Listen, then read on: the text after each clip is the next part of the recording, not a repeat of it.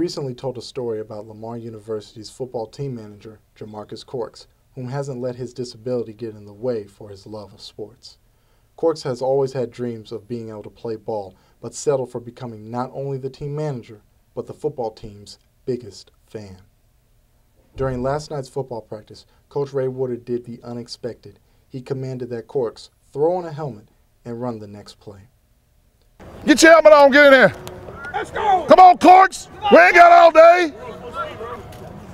Hey, put him in the game, Cody. Come on, Corks. Put him in the game. Yeah. Come on, Corks. Just in here. Tell him what we're going to run. Tell him what he's going to do. Line up right there.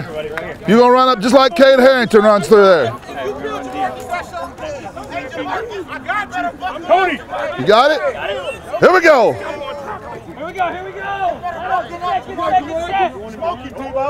y'all want him to run. Yeah, 380. Set. Go. Go, go.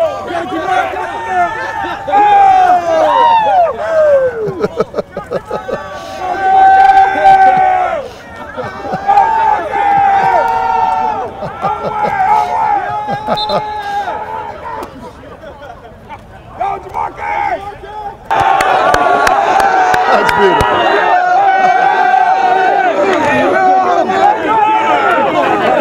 That was.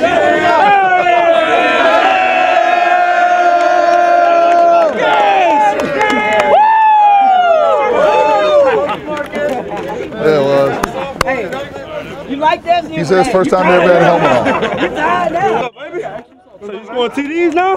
Yeah. Y'all got out. Yeah. What about me? Good shit, man. What about my love, huh?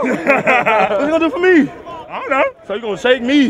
Nah, not re- well, might Yeah, not you ball. shook You on the bro. wrong side of the ball. Hey, you right? Hey.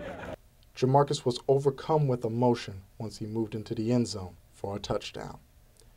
This is. I never expected this. This is one of the happiest moments of my life.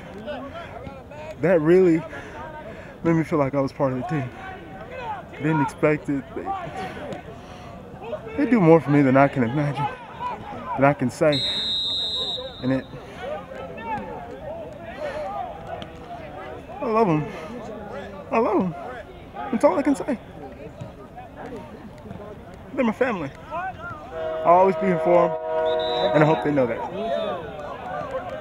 Corks believes that being a part of this football family has only helped him become stronger as a person.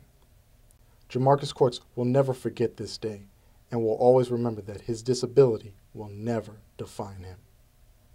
it felt like a dream that I've been chasing for about 15, 16 years. Had finally, I had finally reached it. I'd finally grabbed hold of it, and it was finally mine to just hold on to forever.